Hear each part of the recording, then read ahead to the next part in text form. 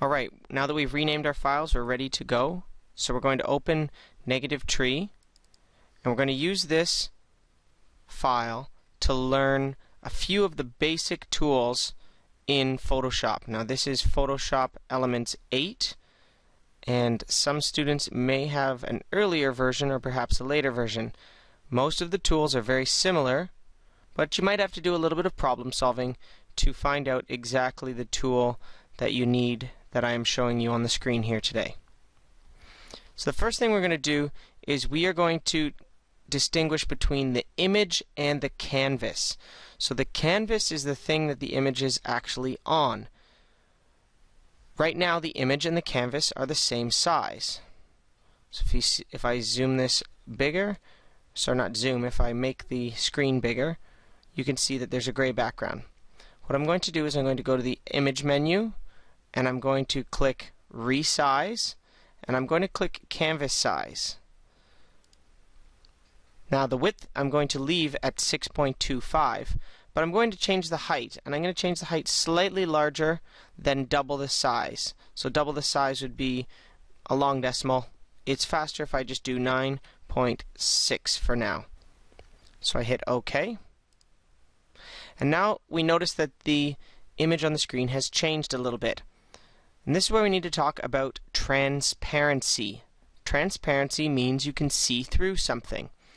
An image has transparency in it when the image does not reach all the way to the edge of the canvas. You can tell that there's transparency in an image when you see the gray and white checkerboards. Now, if I click um, on the picture here, you can see I can move it around, and I've actually given you two image files to work with to start. You can tell that there's two images, not only because I'm moving them around, but if you look in the right side, in the layers palette, you can see there are two layers, and if I move this image around, the thumbnail in the layers palette changes. So I'm going to go ahead and I'm going to move this to the top and it kind of snaps into place. If you can't move your image, try clicking on the Move tool, which is the letter V. I'm going to click on the bottom image and I'm going to move that down and hopefully I can snap it. There we go. It's snapped. And you can see at the bottom that I have a little bit of gray and white checkerboard still. We'll deal with that shortly with a tool. Now, this is called negative tree, and what we're going to try and do is create the effect of seeing underground, or perhaps seeing something reflected in a mirror or in, in a pool of water. So what we're going to do is we're going to click on our bottom image here, and we are going to go again to the image menu, and this time instead of hitting resize, we are going to click on rotate.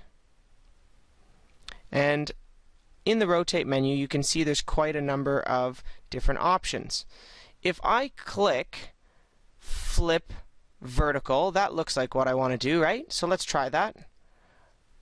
What it did was it flipped the entire image. So that's not actually what we want to do. We just want to flip the layer. Now to undo my mistake, I'm going to hit Control Z with my left pinky finger and my left middle finger you should have your right hand on the mouse and your left hand on the keyboard pretty much at all times. So I'm going to go up. I've got my image selected again. I'm going to go Image, Rotate, and not flip vertical. I'm going to say flip layer vertical. So there we go. We're almost done actually. The You'll notice here that I'm zooming out using my scroll wheel and I just wanted to show you again the overall effect and that we still have some gray check checkerboard here at the bottom. So now we need to get rid of those, so I'm going to use what's called the crop tool. So the crop tool is here on the left. You can hit C on your keyboard, or you can click crop. I find it's faster to use the keyboard. What I'm going to do is I'm going to crop starting in my top left, and I'm going to start off the canvas, and I'm going to go down, and you notice it doesn't show up until I hit the canvas. I'm going to go down to the bottom right and it even snaps for me right to where I want to go. So it's inferring correctly that I want to cut off that checkerboard transparent background. You'll notice now that there's a green check mark and a red kind of no smoking circle. So that cancels my operation. I have to hit the check mark if that's what I want. So I like that. I hit check mark. And now the last thing we're going to do, we'll go back to the move tool, so V for move tool.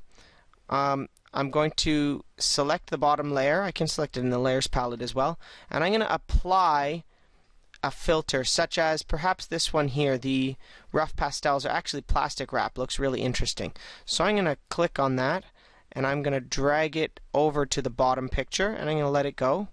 And I should get some kind of menu. Now you can play around with these settings. I'm just going to hit OK to show you what it'll look like. Hit OK, and there we kind of have a sense of a tree being reflected in the water. This is just a basic activity to get you started.